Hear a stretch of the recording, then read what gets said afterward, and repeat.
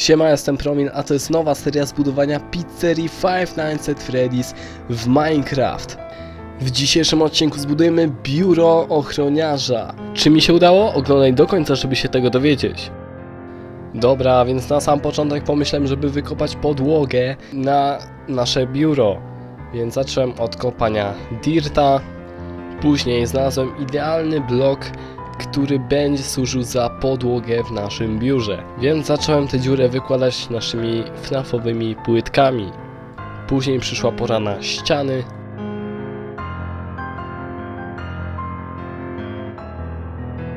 I nadszedł czas na drzwi, które wstawię później.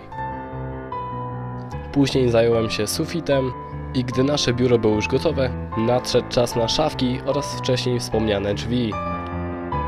Później przypomniałem sobie o oknach. Następnie położyłem biurko, które później wyposażyłem w monitory.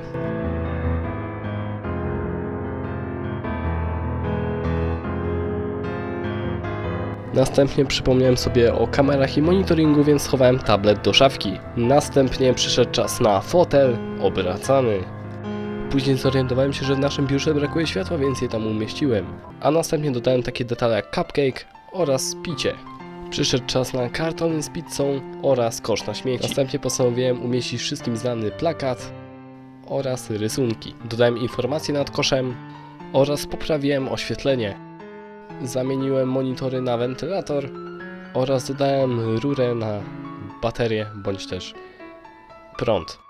Dodałem detale do biura w postaci wiszących kabli ze ścian.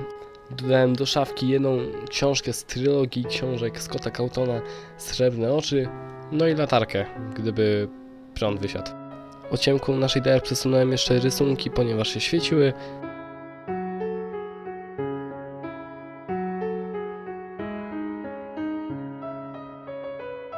No i nasze biuro było już skończone. Przez cały film mogłem brzmieć nieco inaczej, ponieważ jestem chory, ale mam nadzieję, że się spodoba.